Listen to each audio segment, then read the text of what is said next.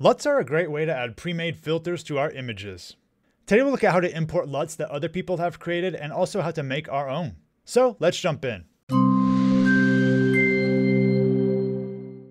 What's up guys, it's Trent and today we're talking about using LUTs in the Affinity programs. First we should understand what is a LUT. LUT stands for lookup table. And really it's just a file that has a predefined set of color adjustments. You can almost think of them as filters that we use on Instagram or some other social media platform. So here I have an example of some of them in action. On the top left I have the original image here, and I've applied three different LUTs to it. You can see the dramatic color differences we get with each of them.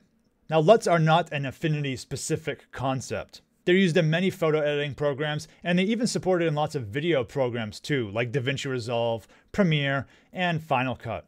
It's a very common way to add a consistent color grade to your photos or videos. So first let's talk about how we can actually get LUTs that other people have created. They're a very common asset to find on graphic design websites. Here I am on Creative Fabrica and I searched for LUTs. If I scroll through, you can see lots of different examples here. We have some of these gritty ones over here. These are some bright lifestyle ones. You can also refine your search to find LUTs that are more related to your niche. So for example, I can type tropical LUTs here. And I'll scroll down. And you can see there's lots of ones that are designed for tropical photography. I could type urban LUTs. And then we get ones for colors that more match cityscapes. Now the file type we want to load for Affinity is called a dot .cube file. I found this LUT pack I like, and it says Photoshop, but despite the name, if I scroll down, I can see they include these cube files so I can actually download it and use it. So I'll do that right now. I'll download it and then we'll check it out on my file system. So I've downloaded the file here. It's this dot .zip. Let me extract it. So I've unzipped it and I'll look inside. And what's inside is really going to vary depending on who made the package you downloaded. Sometimes there'll be these PDFs that explain how to use things. But for Affinity, what you want to do is find the files that have the .cube files in it.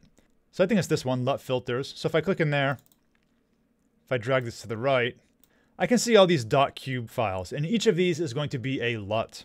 So I'm back in Affinity Photo here, and we import LUTs through an adjustment layer. So with my layer selected here, I'm going to click the adjustment button down here. I'm going to select LUT, and this will work in all the Affinity programs, Photo, Designer, and Publisher. So I'll click this button here. And now I have two options, load and infer. I'll talk about infer later. Right now we just want to do load, so I'll click load LUT. And I'll navigate to the LUTs folder that I downloaded. And now I can choose one of these cube files. So I'll choose Dreamy Tranquility. Let's click that. I'll click Open. And now it applied that LUT to my image. So I'll close this box. And if I expand my layer stack here, you can see the LUT is just an adjustment. So I can toggle on and off. So this is off, on, off, on. You can also change the opacity if it's too strong. So I can click opacity here. I can dial it down a little bit. I'll max it back out again. Like all adjustment layers, you can also add a mask to it. So I can click the mask here. I'll drag the mask to the LUT. And maybe I don't want it to affect the person here. Maybe I just want it to affect the background. So I'll click a brush. I'll select some type of soft brush. Maybe I just want to subtly affect the girl. So I'll select some gray here. And I can take the effect off of her if it's too strong. So I go back to my layers. And I can toggle the mask on and off. So before, after, before, after. But I'll delete this and I'll just have the LUT affect the whole image. Now, even when you have this adjustment applied, you can still add other adjustments if you like. I can add curves. So let me click the adjustments. I'll add curves. I can just make a quick little S curve. Maybe get some more contrast in there. Maybe brighten it up a bit. I could add some vibrance, so I'll click the adjustments again. I'll select vibrance. Could dial it up. I can keep making these changes on top of the LUT itself. And if I ever want to change the LUT, I can click on it. And I can load a different one. So I'll click load LUT. Let's choose some random one down here, Neon Magic. So I'll click open and we get a different look. Now it can be tedious to test LUTs one by one there just by loading them and seeing what they look like. Affinity Photo actually gives us a way to load them in bulk. Now this isn't in Affinity Designer and Publisher, this is only a feature of Affinity Photo. And we can do this through the Adjustments tab. This is the reason we can't do it in the other programs. This Adjustments tab only exists in Affinity Photo. If you don't see it here, you can enable it through Window Adjustment. But then I can scroll down here and I can expand LUT. And it comes with some predefined LUTs here, as you can see. But I'll close this. What I'm going to do is I'm going to click the gear icon and I'm just going to create my own category of LUTs. So I'll create new category. And these LUTs are related to streaming, so I'll call it streaming LUTs. I'll click OK. And you can see there's nothing in there yet. What I can do now is click the gear icon again, and I can say import. Now I could import all of these if I want, but I'll just choose about six or so. I'll just randomly choose some.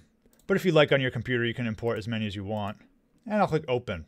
Now if I scroll down, these are the LUTs that I imported. And if I click each one, I can quickly see the effect.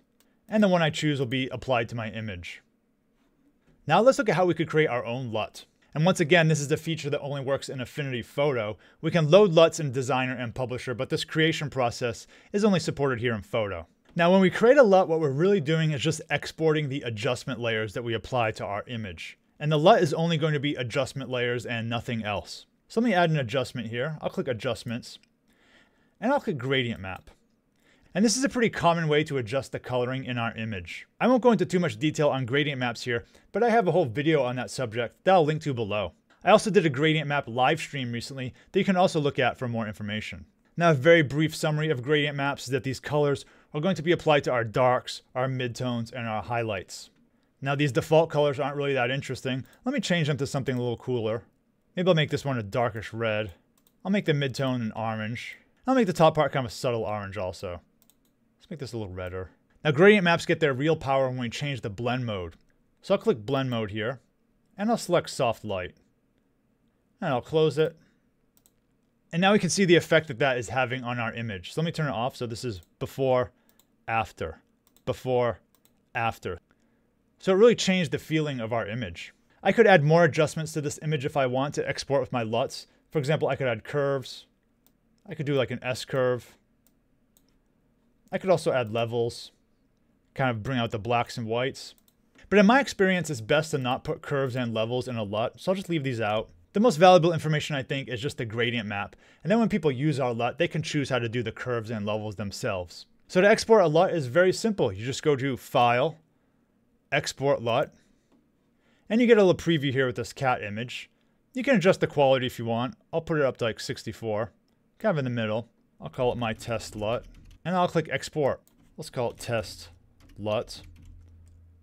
And now it's exported. Now the question of course is how do we use that LUT? Well, it's very easy. I have this image open here and we just add the LUT like we did before. I'll click the adjustments. I'll click LUT. Then I'll select load LUT. I'll select my test one here, open, and the effect is applied here. If the effect is too strong, I can reduce the opacity, but I kind of like it at 100% there. Before, after, before, after. And even though the LUT is applied, I can now go and apply my other adjustments if I want. So maybe this is an example where I want to adjust the curves, make it contrast a little bit more, maybe add a little more vibrance. You can change the whole feeling of your image. Now I should give a word of warning here. Sometimes when I've exported LUTs through Affinity Photo and then imported them into another image, the LUT doesn't seem to work. It just has no effect that I can tell. I don't know exactly what causes this, and I've seen some other people on the Affinity forums mention the same problem. But usually if I save my files and just restart Affinity, it seems to work eventually. So try giving that a shot if it's not working for you. In addition to loading a LUT, we can also infer a LUT. What this means is that we'll give Affinity two photos, an original photo and a filtered photo, and it'll try to figure out what the LUT is by taking the difference between the two photos. And then we can apply it to another image. So let's say I have these two images, an original image and an image with the filter applied to it. Well, I can ask Affinity to try to guess the LUT between these two images and apply it to this image. So I'll select this image and I'll click Adjustments. I'll click LUT. And now we use the Infer LUT button that I talked about earlier. So I'll click Infer LUT. It's going to ask me to select two files. The first file I want to select is the original image here. So I have that on my file system. So I'll click Original. I'll click Open. Now it's going to ask me to open another file. And this is going to be the second file it wants to see. So I'm to click the filtered file. That's this here. I'll click Open. And we can see as it figured out the color transition between these two images and it applied it to this image here. Now let me click delete here. The order you choose those two files does matter. Let me do it backwards and show you what it looks like that way. So I'll click adjustments, LUT. I'll click infer LUT. I'll select the filtered one first. I'll click open. Then I'll click the original and I'll click open.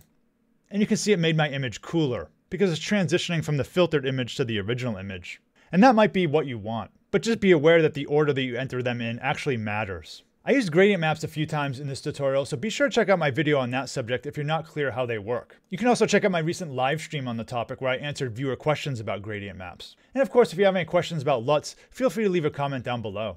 Thanks for watching and see you in the next video.